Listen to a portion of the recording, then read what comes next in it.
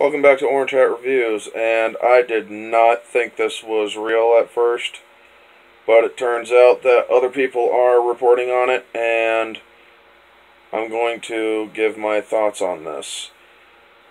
I also was hesitant because it is entertainment news, but it also has political underpinnings.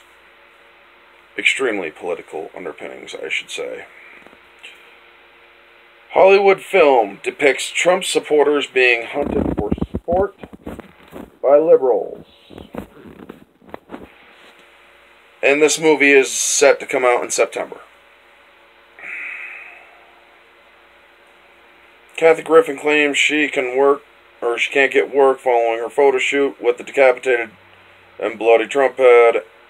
But don't let that fool you. Hollywood clearly still likes the idea of promoting Trump or promoting violence against people who aren't good and obedient leftists because Universal Pictures is set to release a thriller called The Hunt on September 27th, which features left wing elites hunting Trump supporters for sport.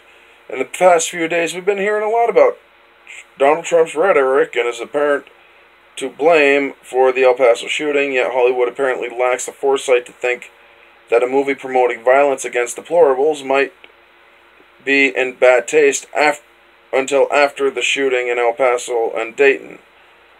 As only now is Universal rethinking their promotional strategy for the film. These are quotes that I'm about to read. Did anyone see that rat effer in chief just did? One character asks early in the screenplay for The Hunt, a Universal Pictures thriller set up to open September 27th. Another responds, at least the hunt's coming up.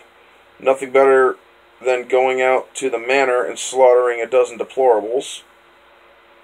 These are quotes, or those were quotes from the screenplay. In the aftermath of mass shootings within two days of one another that shocked and traumatized the nation, Universal is reevaluating its strategy for the certain to be controversial satire. The violent R-rated film from producer Jason Blum's Blumhouse follows a dozen MAGA types who wake up in a clearing and realize they are being stalked for sport by elite liberals. Over the August 3rd weekend, ESPN pulled an ad from the for the film and it had previously cleared. While AMC ran the spot during the season premiere of its drama The Preacher. It's unclear whether the ads were identical, but the one yanked by ESPN opened with sound resembling an emergency broadcast symbol. A rep for ESPN said Disney declined to comment on the movie, but an ESPN source says no spots for the film will appear on the network in the coming weeks.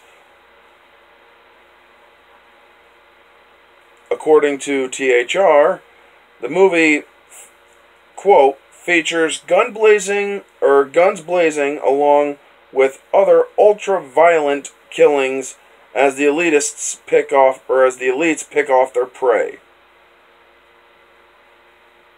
And I'm actually going to watch this trailer right now and I'm going to put you on pause and give my thoughts about this trailer. So I'll catch you in one second.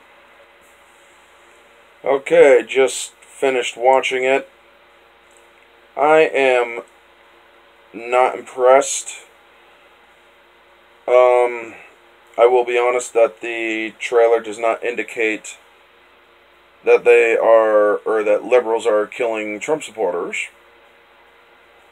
But the original, or I'm going to continue reading from the video, or from the article.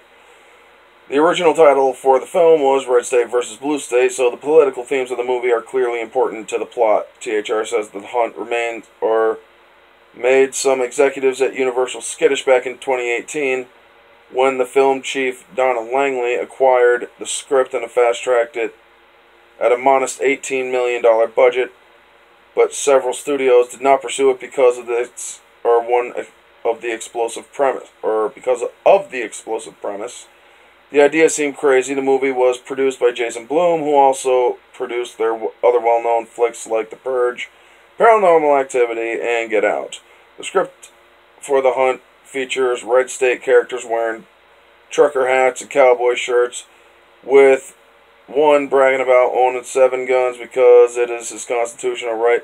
Blue state characters, some equally adept with firearms, explain that they picked their targets because they were or they expressed anti-choice positions or used the N-word on Twitter. War is war, says one character after shoving a stiletto heel through the eye of a denim-clad hillbilly. How exactly did anyone think this was a good idea after or even before the El Paso and Dayton shootings? In June 2017, a Bernie Sanders supporter and left wing activist shot Republican members of Congress who were practicing for an annual congressional baseball game for charity. Yeah, they're just reporting on other stuff. But this is very disturbing news. It shows the insanity of Hollywood. The fact that they're actually willing to promote this kind of movie. The screenplay makes it abundantly clear that it is a movie about liberals killing Trump supporters or conservatives or whatever you want to call them. And I just watched a trailer, which means this is a finished product. If it's due to come out in September, this is a finished product. It's due to come out in a little over a month from now. The 27th of September. I gotta tell you, I swear to God, if my own theater supports this, I will actually boycott my theater.